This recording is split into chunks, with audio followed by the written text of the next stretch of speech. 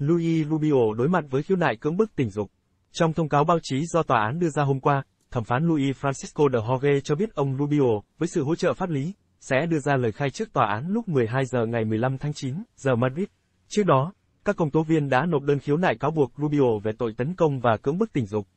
Việc tiếp nhận khiếu nại của công tố viên trong tuần này là một phần của quy trình pháp lý của Tây Ban Nha, cho phép tòa án bắt đầu thu thập bằng chứng. Quá trình đó cũng bao gồm việc yêu cầu các video về nụ hôn của Rubio với Hermoso từ nhiều hãng tin tức khác nhau, cũng như cảnh quay về lễ trao huy chương World Cup nữ của Tây Ban Nha và lễ ăn mừng trong phòng thay đồ. Vụ bê bối xuất phát từ việc Rubio hôn môi Hermoso trong lễ trao chức vô địch World Cup nữ tại Sydney ngày 20 tháng 8. Ngoài Hermoso, Rubio còn ăn mừng thái quá với nhiều người khác, như hôn lên má hay ôm một số cầu thủ khi nhận huy chương. Ông sau đó tham gia ăn mừng cùng một nhóm các thành viên của đội tuyển, rồi hôn lên má Olga Carmona người ghi bàn duy nhất trong trận chung kết gặp Anh. Dù hứng chịu chỉ trích, Rubio khẳng định việc hôn Hermoso là hành động tự phát trong lúc hưng phấn và có sự đồng thuận. Trong cuộc họp báo bất thường tại trụ sở AFIF ngày 25 tháng 8, ông thậm chí năm lần nói sẽ không từ chức và cho rằng bản thân là nạn nhân của một cuộc săn phù thủy bởi những nhà nữ quyền giả tạo. Sau động thái này của Rubio, hơn 80 cầu thủ bóng đá Tây Ban Nha gồm tất cả thành viên vô địch World Cup 2023 đều tuyên bố ủng hộ Hermoso bằng cách không trở lại đội tuyển nếu không có sự thay đổi ở thượng tầng bộ máy AFIF.